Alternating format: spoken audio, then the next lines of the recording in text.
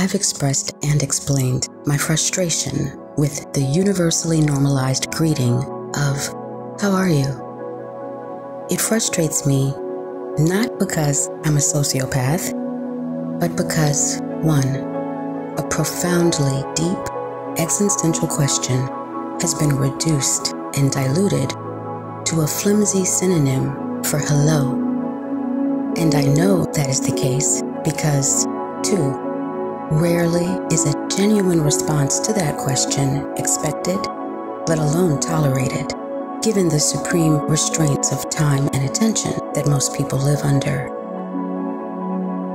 Basically, how are you is a $10,000 question that only has capacity for a 10 cent answer. And I'm the sociopath for merely pointing that out? I've also shared a way to do something productive with things that bother, annoy, or strongly trigger you. And I have a hybrid solution to this particular dialogue dilemma that I'd like to share with you. It's useful because we will receive that prompt with nearly every real life social encounter we have. Here's my internal solution, which prepares me for external engagement. First, I had to acknowledge the lifetime of conditioning I received to automatically reply, I'm great, or I'm fine, whenever asked that question. In fact, it was while I was in a two year period of hellish darkness that I woke to my aggravation with this social ritual that passes for genuine concern. At that time, I was barely held together by a single strand of string. And when asked that question, I knew no asker would want or be prepared to handle hearing my truth.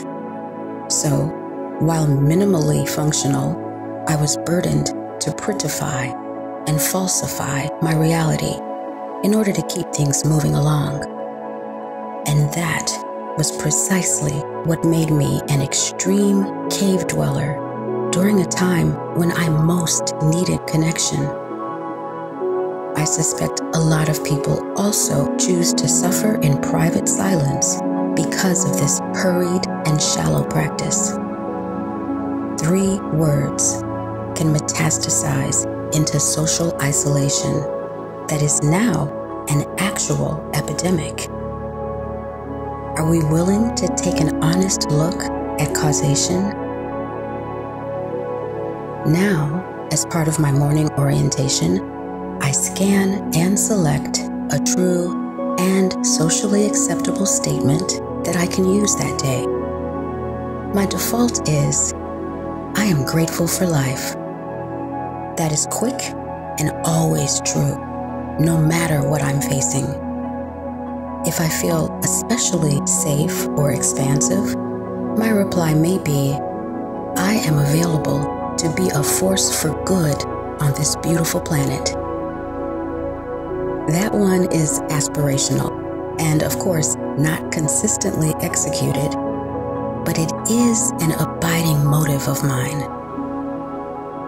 This is not trivial or hair splitting. This is the work of integration, of creating alignment and congruence between your inner world and your outer world. I have lost closeness with those who have shamed me for having no choice but to acknowledge this pain point. Sadly, that was a lot of people. Fortunately, that cleansing made space for new people who get it, most of whom are neurodivergent. All this is just bringing a tiny bit of consciousness to a social custom that hasn't received much thought or consideration. Ultimate point being socially courteous does not have to come at the expense of suppressing what is true and meaningful to you. These forces don't have to be at odds. Instead, we can add light and lubrication to old, stale, insincere ways of greeting each other. And while you may not agree with this approach, there is certainly no need to pathologize it. Peace to all.